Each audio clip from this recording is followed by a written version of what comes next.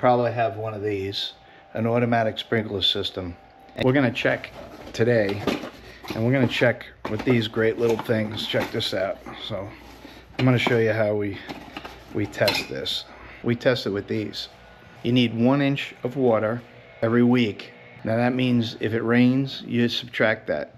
But what we have to do first is we have to calibrate our sprinkler system with one of these. Let's get to it. Let's put it on the lawn. We'll stagger them out all over the lawn and I'll show you how I did it. So we're gonna have it out on the lawn out here. And we're gonna put it in a whole bunch of hot spots, right? So we're gonna look on the lawn where it's dry. And each zone, we're gonna put one on the outside. And you don't have to stick it in too, too tight, but you stick it in the lawn just like that. And we're gonna put them all over the place. So here, in this box, it looks like I got 10 of them. So we're gonna put them all over the lawn. We're gonna have to take an average. We'll see how accurate it is. So I'm gonna spread these out all over the lawn as you can see, nice and even. So what I'm gonna do is I'm gonna run it for 15 minutes and then I'm gonna multiply it by four. That'll show me my rate by hour.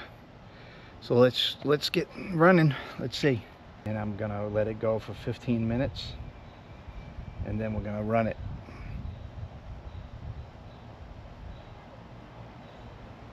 I know they're thinking I'm crazy but this is actually the only way to figure out how much water is getting in those cups.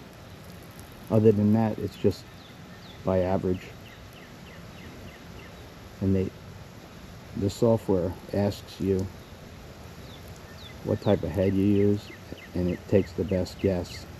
And that's not how we roll. We're going to get an inch of water a week. From what I could see is we're not filling up the cups fast enough so we're gonna have to go into the half hour. But we're gonna let it run. This is better done in the morning when there's no evaporation but you're gonna get a little bit but this is how we adjust it. We're gonna just watch it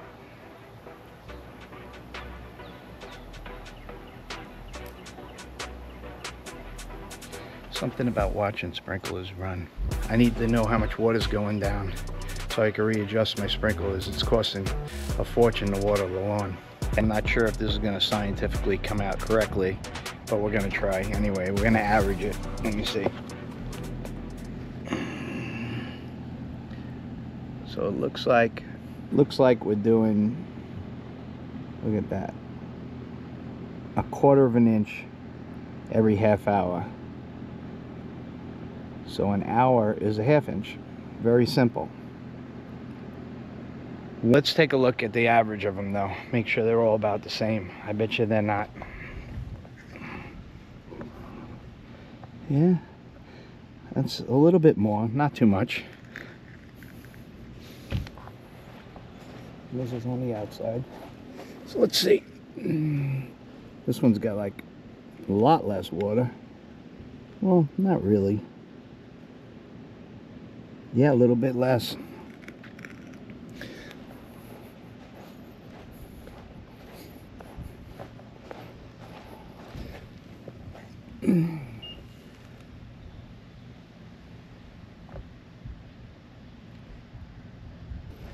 so there's a point where you have to take a judgment call. Most of them are a half inch. One, one of them is a little light and that one's the one I'm gonna have to monitor. This one's a little light too. This one's almost look at this. This has got nothing in it. So there's a spot right here right here that's got very little in it. But at least now we know that. So if it starts turning brown I know I need to throw some water down over here. So that makes sense. I have a lot of trouble over there. The best way to conserve water would be to get the adjustments perfect that way you're not wasting all the water.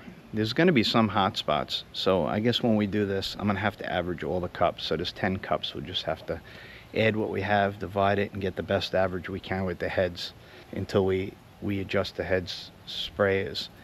The ones that are really bad, I'll take note and I'll change the sprayer heads for either more output or less output depending on where we have the cups placed I'll be able to mark the head that I need to put a better sprayer head in. So I'm getting a half inch an hour, right? So I would have to run twice, twice a week to get an inch if there was no rain. So let's hope for rain. If you water every day and you let it go, and then it rains one day that week all the way at the end, it was a waste of water. So just be mindful of that and you won't overwater. Your bills won't be insanely high, but you'll get the correct water on the lawn. One inch, one week. Very simple. Thanks for enjoying the video with us. We'll see you soon.